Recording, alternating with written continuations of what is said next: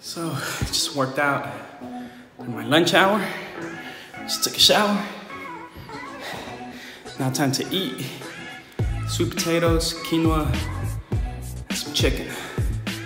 Later on today, work out with the king.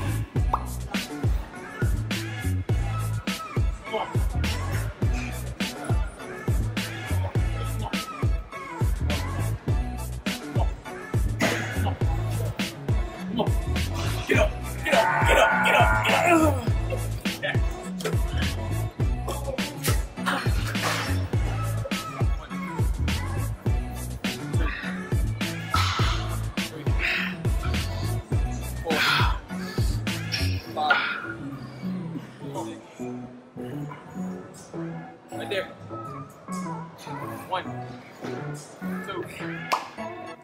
Just like that, it's Tuesday. And today, interesting day, I worked out during during lunch. Did a full hour workout. Did a little bit of upper body, and then did uh, some core workout. And did some uh, cardio workout. I was really tired when we were done with that. Plus the fact that I worked out late last night and I was just like, ugh. After work, it was a really good workout, but I just felt done for the day. And today I had my session with Shapiro.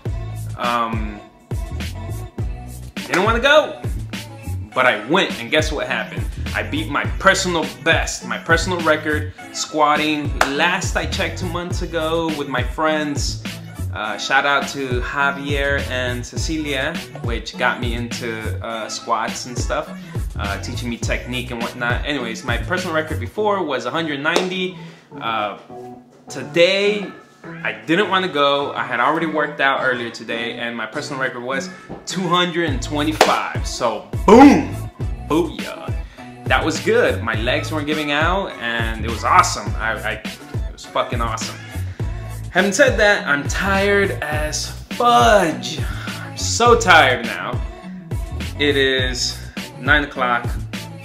I burnt, um, according to the Apple Watch, the little exercise ring, 1,345 calories just on my two workouts. So, hell of a day. This is hell week.